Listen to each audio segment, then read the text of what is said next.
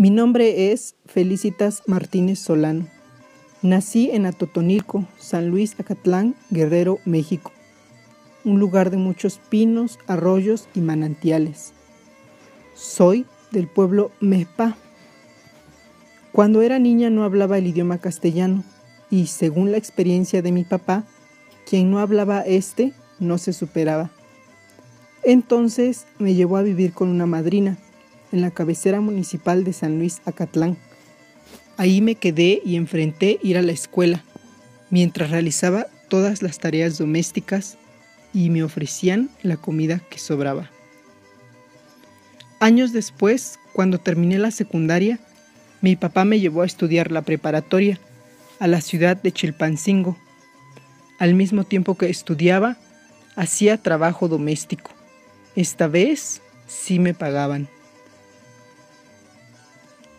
En 1994 inicié mis estudios en la licenciatura en Derecho en la Universidad Autónoma de Guerrero.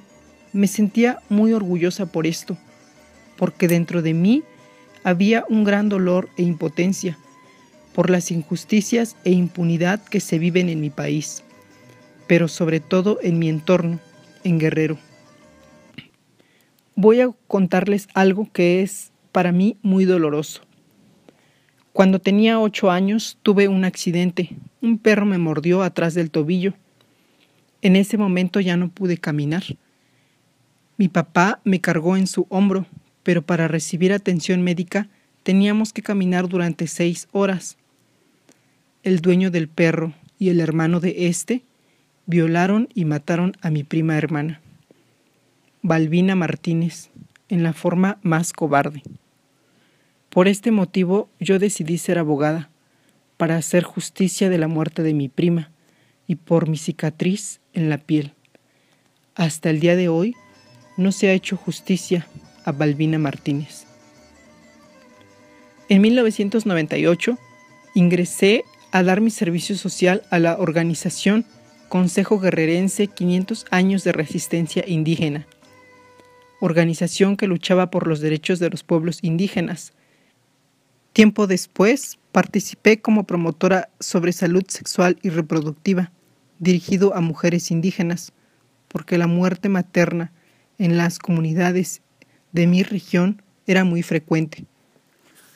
Fui la primera mujer como autoridad comunitaria que la Asamblea de la Coordinadora Regional de Autoridades Comunitarias, la CRAC, aprobó.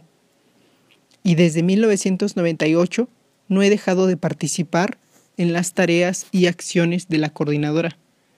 Por esto, tuve una orden de aprehensión por parte del gobierno mexicano. Se me culpaba por el delito de privación ilegal de la libertad.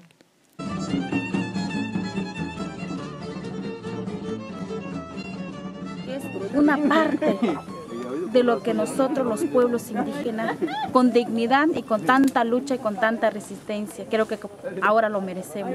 No es un regalo, es una lucha que nosotros hemos hecho los pueblos indígenas de esta región, que ahora vamos a instalar nuestro propio cuartel, que tiene que ser un lugar digno para la policía comunitaria. Pasé por amenazas, amedrentamiento y persecución. Desde 2005 estoy al frente de la Coordinadora Nacional de Mujeres Indígenas.